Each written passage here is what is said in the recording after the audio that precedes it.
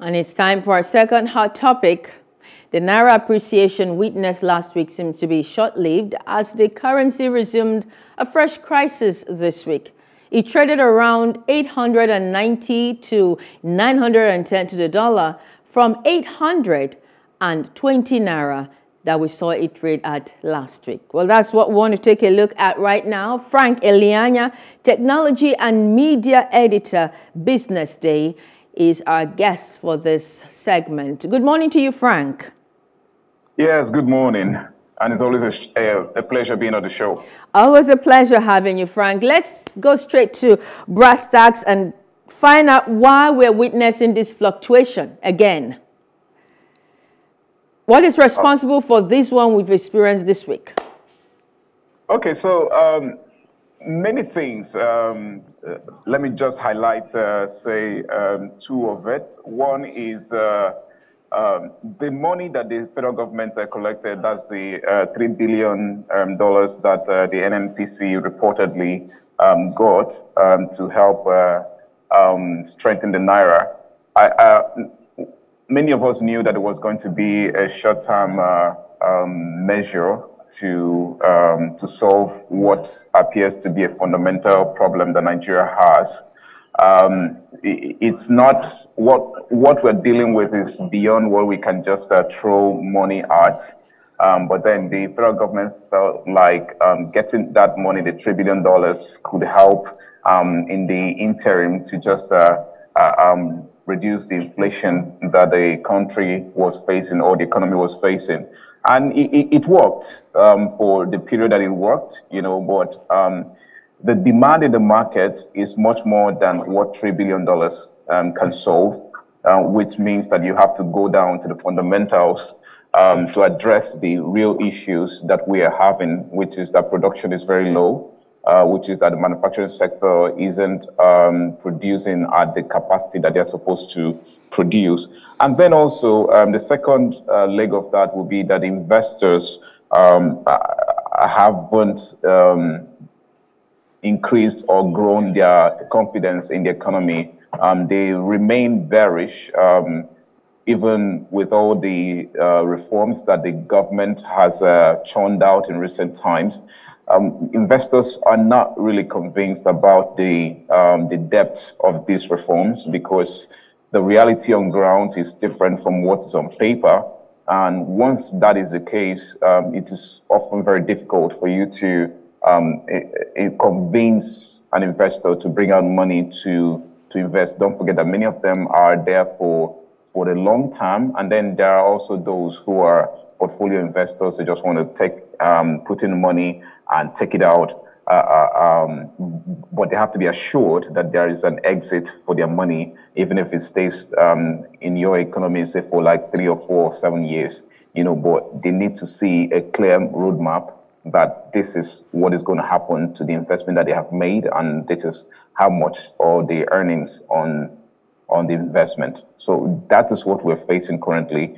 Um, yeah, so far. Okay, so let's look at the distortionary effect of this exchange rate volatility. Uh, these relentless gyrations, as we see it, can deter FDI, can't it? Absolutely, yes. It, um, it, it, will definitely uh, um, not help the FDI that we're trying to attract, you know, and F FDI is also a function of uh, investors' confidence, investors coming into your economy. Um, if they are able to bring in money, that's when you're earning um, foreign direct investment.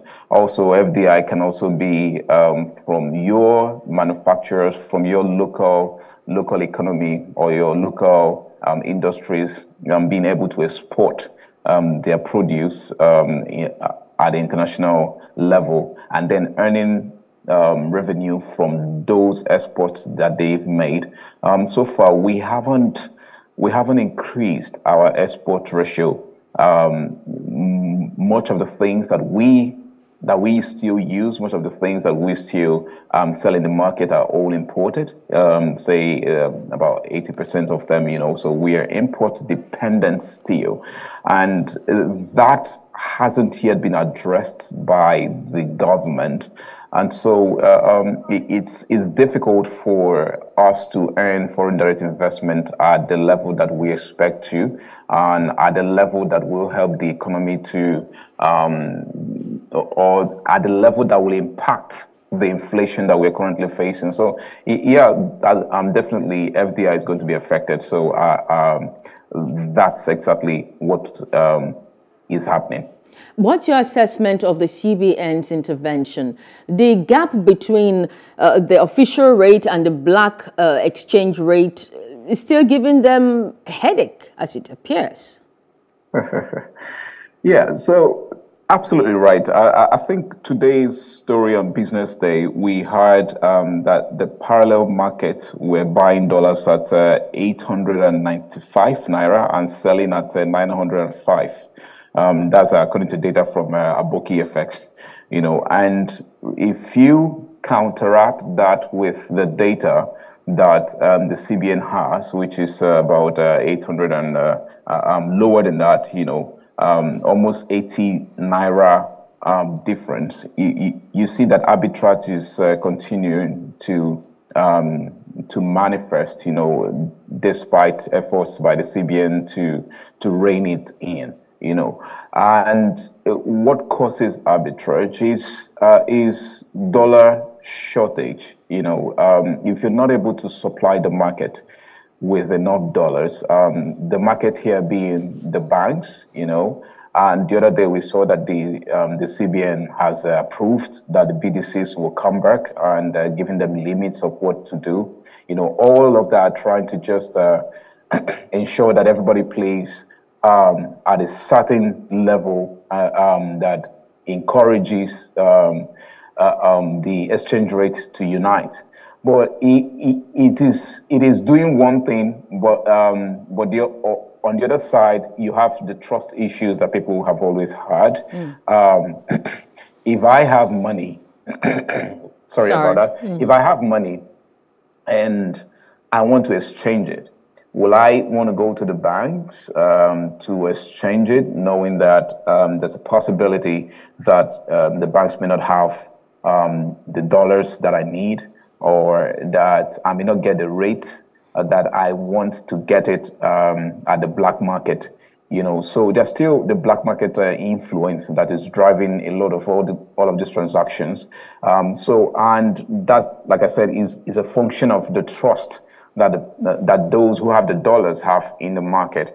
Um, the manufacturers continue not uh, being able to assess um, um, the dollars, you know, because they need it to go and uh, buy uh, uh, um, to to get supplies, and many of them are eager to, you know, buy at any rate.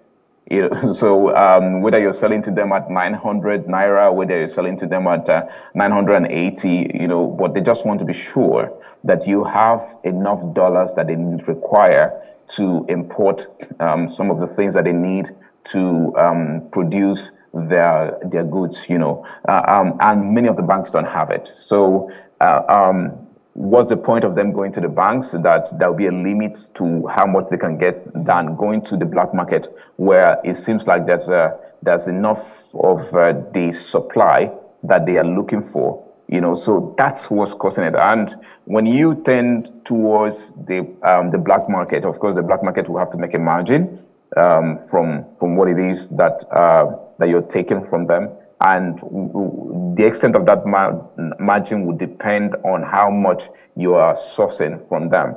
You know, so that's that's what's been affecting the market. Again, it boils down to it is not it is not it's a, a job the CBN alone can can achieve. Um, good enough. We now have ministers. You know, um, you will expect that um, all of them will begin to pull their weight. All of them. I know there are some people who have marked out some critical sectors to say these are the sectors that need to um, uh, um, be focused on. But I think that every ministry, every minister needs to be on top of their game and there needs to be some collaborations at, at every level to ensure that everyone is productive and we are not, this is not a period to wait for, say, in the next uh, 100 days or whatever um, before you start, uh, we start seeing results. This is a period where we want to see results in the next one month, mm. you know, hmm. and that would depend on what you are doing as a minister, how you're able to coordinate, how you're uh, able to um, implement existing policies, because it, it might be impossible for them to um, create new policies right now you know, but they can go back and look at some of the old policies that have been made by previous ministers um, that have been in that position and create uh, uh, uh, and try to maybe implement some of those um, policies that they know that are friendly to the market, some of those policies that they know that will encourage um, trade activities in their in their ministries, you know. So everybody has to be on board in order to increase productivity in the economy. That way, it will reflect on the books of the CBN. You know, um, the, the, there's only a limit to which what to what the CBN can do. They can't continue pumping money into the economy, even if they print and uh, uh, more more naira. It will not ensure that there will be dollars um, in the market. So it's it becomes a um, a challenge that should be addressed immediately by those who have been appointed as ministers to do that. What would you say, Frank, should be the realistic exchange rate for the Naira? At this point, uh, I don't know. Um, I, I, can I can answer that question with a straight face um, because um, the floating has sort of uh, distorted the, um, the market, and um, unless unless we address issues around export. Um, I go back to export because that's that's for me like um, where we need to address to getting foreign direct um, investment. When you get in foreign direct investment, then uh, um, you can you you can uh, you, you can start to address some of these issues again. Um, I'm also thinking that Nigeria could have also leveraged the BRICS summit um, I see that Saudi Arabia, I see that some of the countries are beginning to um, look towards the BRICS, you know, and why? But Nigeria is not part of it. exactly. So why am I talking about that is that look at the kind of uh, policies that they're looking at. They are trying to reduce dependence on the dollar, you know, mm. and try and start using trading with their local currencies. Imagine what that would do for a country like Nigeria, mm-hmm. you know, where instead of uh, um, killing ourselves over how much dollar we don't have, we can then start using our naira to trade with other currencies. You know, that for me, like, is like the, the lowest hanging fruit right now mm. that Nigeria can leverage. Go to the BRICS, bury your shame. Whatever it is that uh, that that's the politics between Nigeria, maybe South Africa. You know, both of them can work together um, at this point to be part of that group and by so doing, we start seeing our, our naira strengthening. Um, people can uh, uh, people can then start looking towards coming into the country and trading with the local naira and trading with every other um, uh, um, currency that are under the BRICS um, arrangement. You know, without having to worry, do we do we need to exchange it in dollars before we make our payments and all that? Look at China look at um, Russia is there. You have uh, India there. You have Brazil there. You even have South Africa. You know, we have a lot of trade with South Africa. Mm-hmm. You know, so it is it is actually a very good opportunity for Nigeria to leverage and strengthen the naira. It's it's just not always about looking at what the dollar is doing. Uh, no, uh, so uh, tie, tying ourselves to to the dollar is actually not doing us very great favors right now. And what I mean is that um, whatever IMF tells us, whatever the World Bank tells us, that's what we're going to do because these guys are, are, are tilted towards the, um, toward um, the West.